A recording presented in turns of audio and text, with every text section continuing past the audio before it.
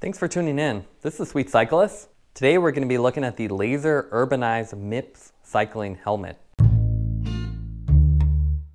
So here we have Lazer's latest helmet. This is their Urbanize MIPS helmet.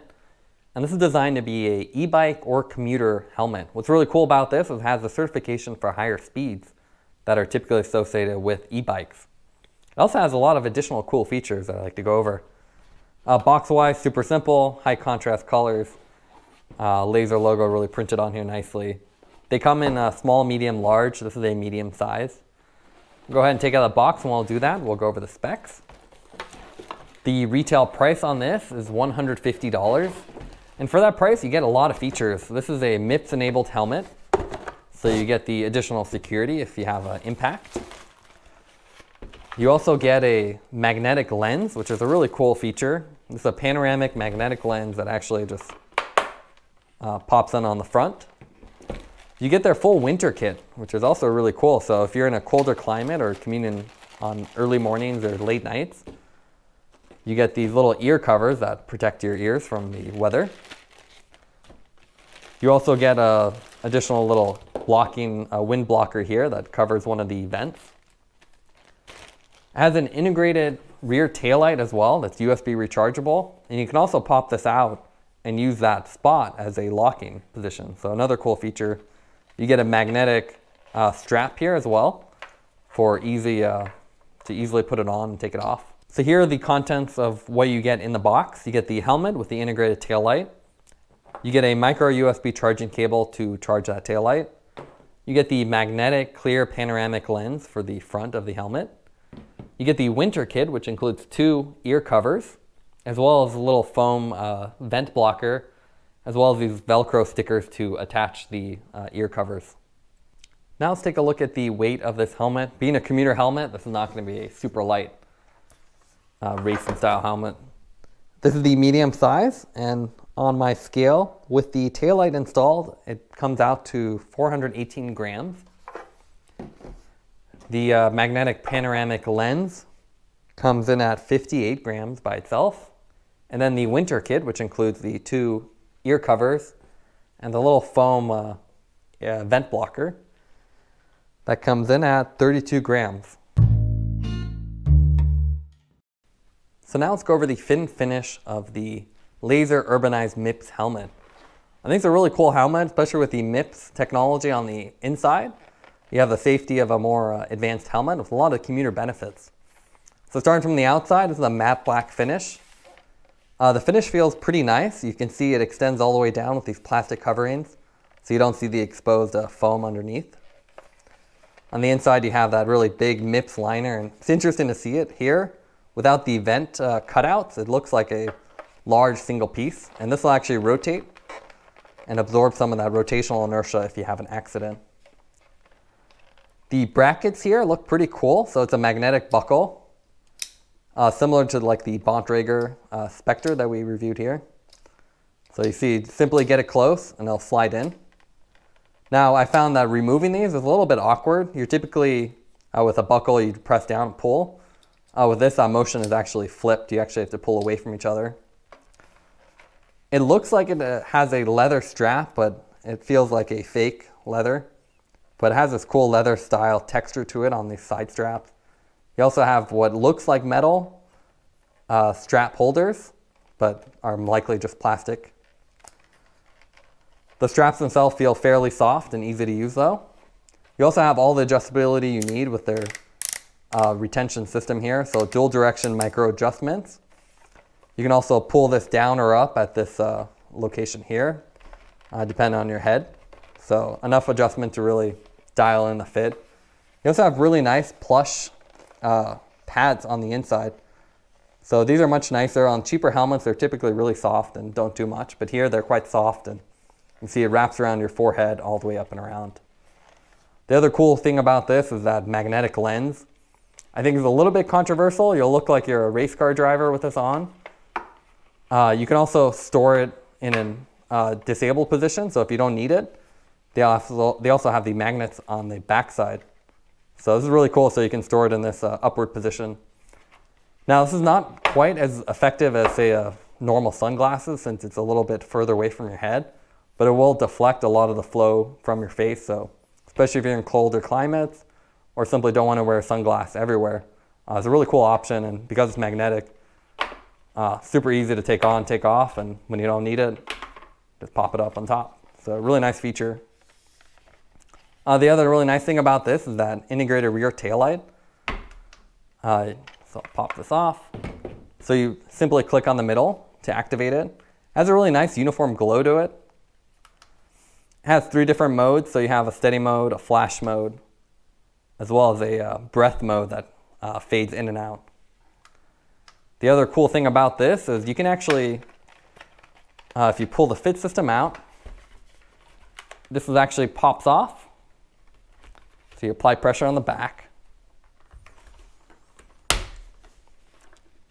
So you can see this comes off. It has a USB charging port here. And then with this off, you actually have a nice large hole here. Uh, they advertise this as a locking hole, so you can actually put your lock through this hole and then lock this to your uh, bike. So pretty nice feature. I think this locking hole is a little bit smaller than I expected though. You can definitely uh, leave the tail light in and simply use one of the other vent holes as an alternative, but really nice feature.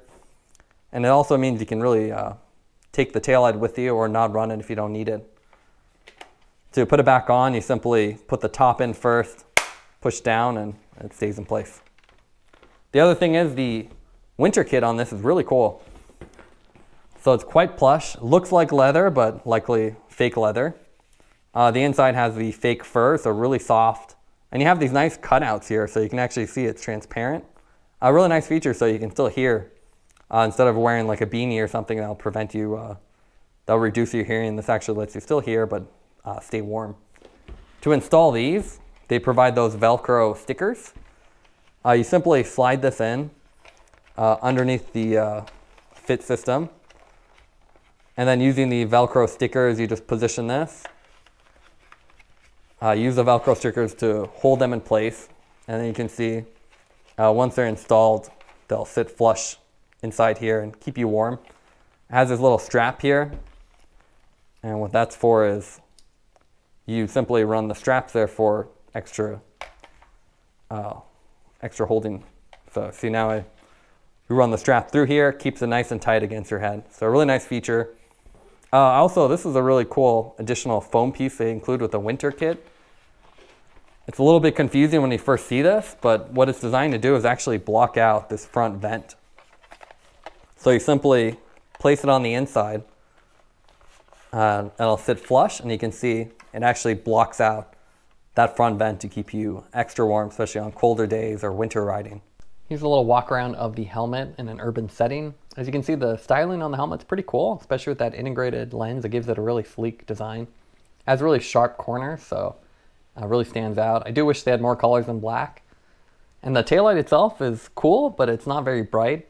So it's not visible in the daytime. I definitely recommend still running a secondary taillight.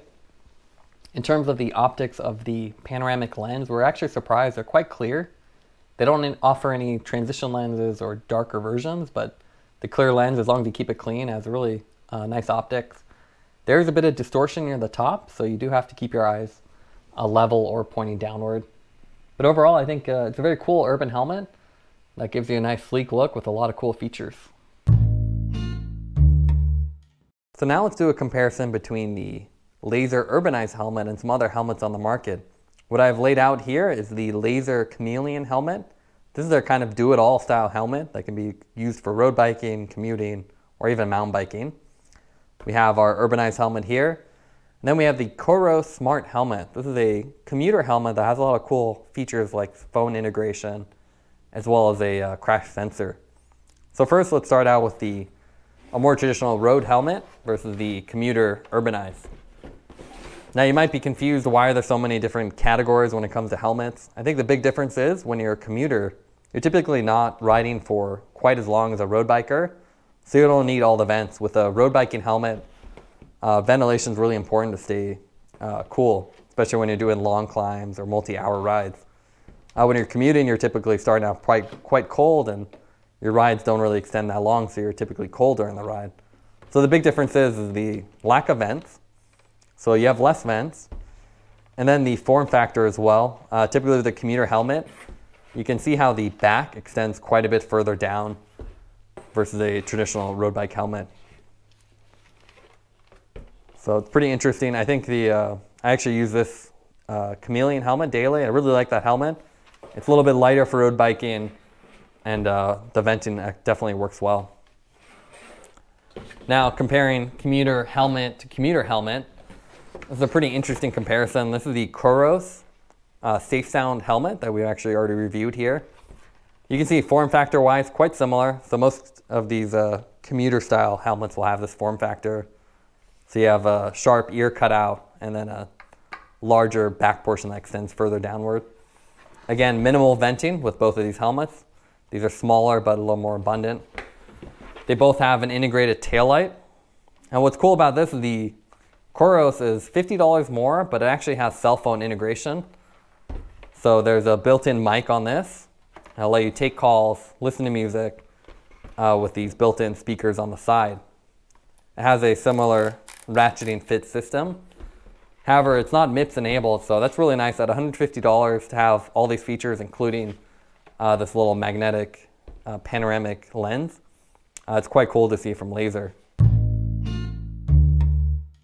Now let's go over the pros and cons for the Lazer Urbanize helmet. I really like the fact that it comes with MIPS integration. Definitely a nice safety feature to have that uh, reduces the chance of injury. I also really like the included winter kit for cold weather. It's really nice that they include so many parts with the ear covers and the vent cover. So you're definitely stay warm in colder weather. Also the panoramic uh, magnetic lens is a nice feature. It's easily detachable and can also be in that uh, flipped and the retracted mode. So definitely something nice to have, whether you ride in colder weather or you just don't want to wear sunglasses all the time. Some of the cons with the helmet are the straps. They're a little bit stiff. I found when I was riding them, I really felt them against uh, my head. So I think a little bit softer material might help. Also, the taillight lacks a battery status indicator. Although it does have really high runtime, uh, you're not going to know when it dies, so something you just have to be aware of and keep charging it at least once a week or depending on how much you ride it. Also, Lazer doesn't include a storage bag for the lens or helmet. It would have been nice to have some cloth bag for the lens itself, so when you're not using it, it doesn't get scratched up. Taking everything into account, I would give the Urbanize helmet a 9.1 out of 10. I think they packed a lot of features into this helmet that makes it a great option whether you're commuting or have an e-bike between the panoramic lens, the tail light, the magnetic straps. I think there's a lot going on here for a pretty good price. Thanks for watching this review. If you like the content, don't forget to like and subscribe. You can see more content from us on our website at thesweetcyclist.com as well as follow us on Instagram at The Sweet Cyclist. This is The Sweet Cyclist reminding you to enjoy the ride.